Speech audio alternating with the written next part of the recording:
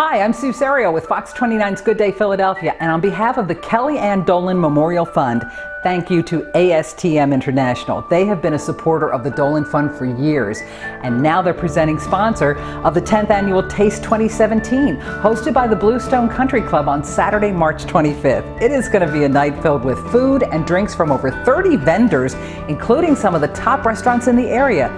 Thank you, ASTM International, because the Dolan Fund can't do what they do without you.